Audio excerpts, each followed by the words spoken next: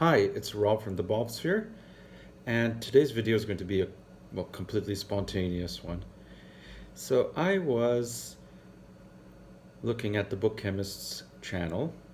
I'll link him down the Dropbox or whatever it's called. And he had a video about the books that shaped him, in the sense that made him a reader. So let me try that. So we'll start. So when I was young, I liked Dr. Seuss, and I graduated. Well, I liked Enid Blyton, but then she kind of lost her appeal very quickly. Then I went on to Roald Dahl, and then what was the next step? And here I was really confused because I was trying a lot of things and I didn't like them. Then for school, we had to study a book, and that was the turning point. And that book was Aldous Huxley's Brave New World. You see, uh, literature has the tendency to explain things that are in your mind that you're not capable of um, realizing yet. This was it. I was a very angry 16 year old or 15. Yeah, was, I was 16. Angry 16 year old. There were a lot of things about the world that were confusing. You know, uh, at the time there were there were the the tests on human cloning I thought it was rather weird. And this book actually does talk about it. And this was written in the 1930s. And yeah, it spoke to me. And then I found out there are lots of hidden references, which I really enjoyed finding out and discovering. Actually, my version has no... Hmm, something from...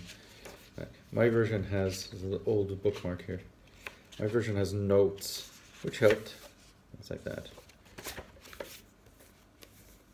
So what is Brave New World about? It's a, well, it's a novel of ideas. If you can criticize it, and Aldous Huxley as well um, said this, it's not really a story. It's really the inner message and how the world building is done. So this is a world where people are cloned according to their intelligence, and they're conditioned.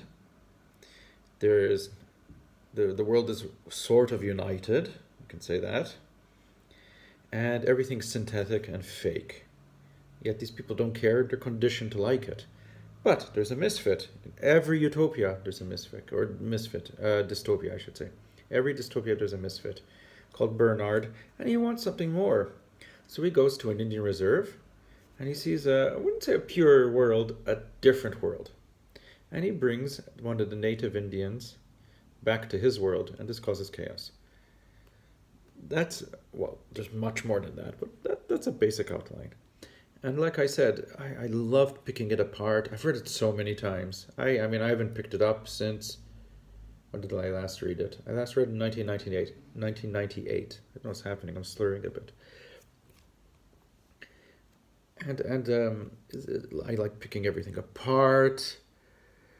I like seeing the symbolism. I like the inner messages the characters, how they were feeling about this world.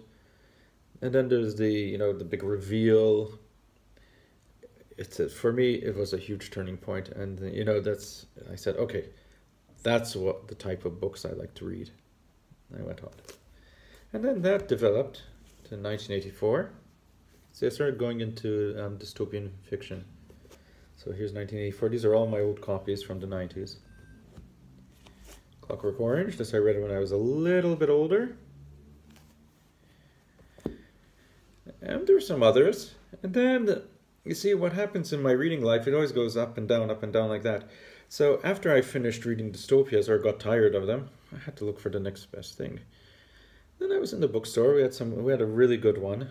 We have two good ones. We had two good ones in Malta. Now we have one good one. But anyway, I saw this. Now, every time I went into the bookstore, this bookstore was in Valletta, our capital city, this kept on staring out at me. And I kept on picking it up and putting it back in, picking it up, putting it back in. Until after two years, I said, damn it, I'm going to buy it. This is the book. In fact, it's not even, he's with Vintage, if I'm not mistaken, or Jonathan Cape now. This is the Minerva edition. This is one of the earlier paperback ones from 1990. I got this in 96. 97. Wow. This, I mean, first it was in dialect. So I had to read it actually twice. So when I finished it, I read it again. But then second reading, everything started becoming clearer. So, Trainspotting is a series of, you could say episodes, even vignettes, about heroin addicts, but it's also a criticism over about society, and that that's where its strength lies, about people's attitudes, about struggling, and then balancing that with being an addict. And it was powerful stuff. And even to this day, Irvine Welsh is one of my favorite authors. He's not as good as he used to be, in my opinion. I think the last great one was Porno.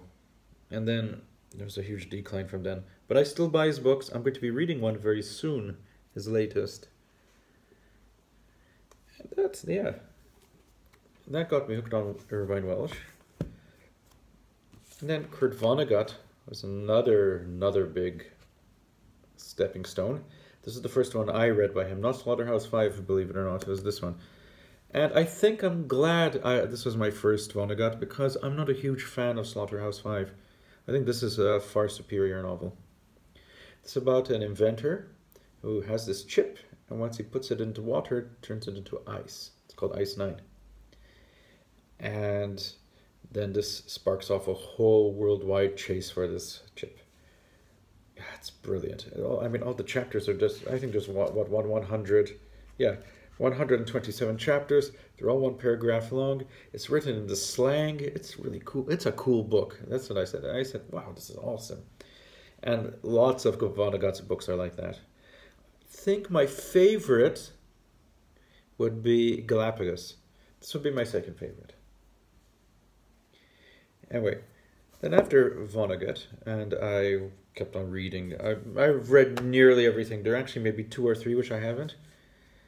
I was in London, and, and I found this. Actually, I read a review about it on Uncut magazine, saying how good it is. So I said, okay, it's about a dog. Let's try it out. I've never heard of Paul Auster before. Never, never, never. So this was on a complete whim. I got this. I loved it. Again, this is a criticism of America through the eyes of a dog. Sorry. And wow, I mean, it it just hits you again. That that feeling of a book articulating something which you do not have the power to do. Did that, and now actually, believe it or not, people consider this uh, his weakest novel, but Ice is still one of my favorites. He has written better ones, but still, this was my first, and that's that's always the special one. Another turning point. What a carve up. I've spoken about this book so many times, so many times. So I'm not going to get into it. But this changed the way I looked at literature completely. This is a book that manages to fuse in about 10 different genres and come out with something original and easy to read. That, that's genius. In fact, this is a book I am constantly recommending. Read this, it will change your life. Now, obviously, I read others like Salinger, that was a game changer as well. I read Donna Tartt's Secret History, another big game changer. But then there came this. This was my, well, it's actually my third Murakami, but it's the one that made me like him. The first one I read was The Elephant Vanishes, and I thought those were kooky short stories. They were good. Then I read Sputnik Sweetheart, which I hated, and I still don't like it to this very day. But this was the third one. And that's it. I said, this guy's a genius. Two parallel narratives, and it's really done very well. And then there's that ending, which is quasi horror. It's, it's, fantastic. And I read everything of his. I, yeah, I'm actually very good at Murakami not everything again I, this is his best one in my opinion not everything he's written is great but i would say the quality is quite high if you've never read murakami read this don't start with norwegian wood because that's different from murakami's other work this is very typical of him usually people who read norwegian wood first are not aren't able to get into murakami's other works don't start with norwegian wood no i mean over the years I've read other uh, milestones. Um, Don DeLillo's Underworld, Cormac McCarthy's The Road, I'm trying to think of um, more female authors. There's the Bell Jar. Uh, what else? Uh, Americana. But I, I think the big, big, big one, which sticks with me to this very day, and I only read two years ago. What was it, a year ago? A year ago, sorry, is this. And I still think it's a, it's a very important book, and I think it's one of the greatest books of the last 20 years. This is Ducks Newburyport by Lucy Ellmann. Another criticism of America, again, expressing my inner feelings. This is all about Trump's America through the eyes of a housewife who has a rambling monologue. There's also another subplot that's written conventionally. It's about a lionhood. This is essentially, even though I said it's a book about America, which it is, it's also about motherhood. It's a very tender look at it. Once you read this book, it will not leave you. Of course, there are others. There are tons. I mean, each book is a memory. Each book is unforgettable. Ones that you like, obviously. But even if there's some, some you don't like, there are others you can return. You can return to it, and maybe you'll change your opinion, as uh, quite a few have in my life. So, Harder, can you mention the books that made you a reader? Have you read any, ah, sorry, have you read any of these books? Your opinions on them? Tell me.